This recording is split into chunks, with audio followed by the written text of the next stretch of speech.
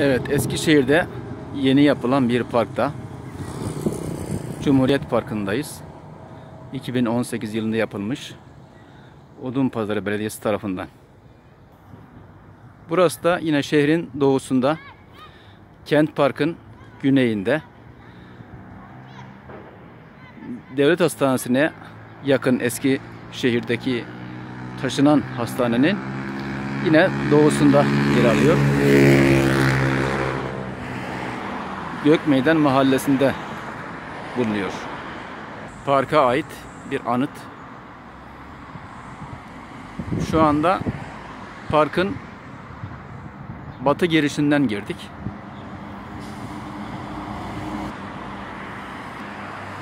Atatürk'ün dediği gibi bilim önemli. Sanırım Isparta Gölü bu.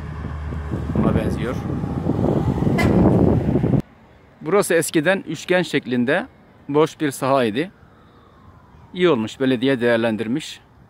Yine yürüyüş yolları, sosyal mekanlarıyla güzel bir park.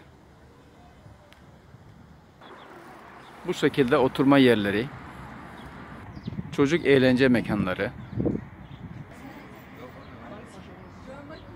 çocuk oyun sahaları,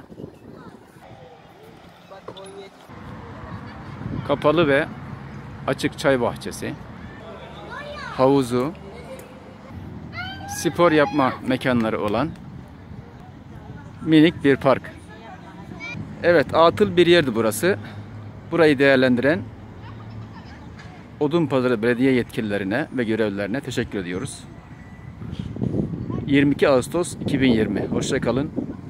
Sağlıkla kalın efendim.